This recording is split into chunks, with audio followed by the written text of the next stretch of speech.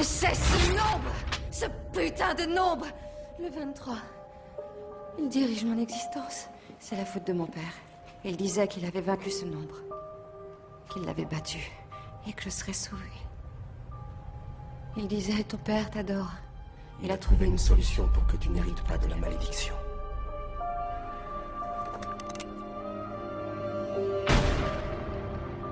Il se trompait. Sa solution ne valait pas le sang qu'il avait dû faire couler.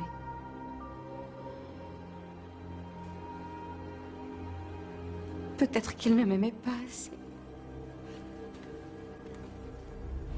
Il est partout Les dates des événements les plaques d'immatriculation, les pages des bouquins, même dans les ascenseurs. Très vite, j'ai découvert qu'il était dans mon nom, dans les mots que je prononçais.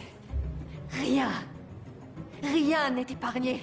Prenez ma couleur préférée, le rose. Qu'est-ce que c'est? Le rouge, ça donne 27, et le blanc donne 65, et 27 plus 65, ça donne 92. Rose, ça a 4 lettres. 92 divisé par 4, ça donne 23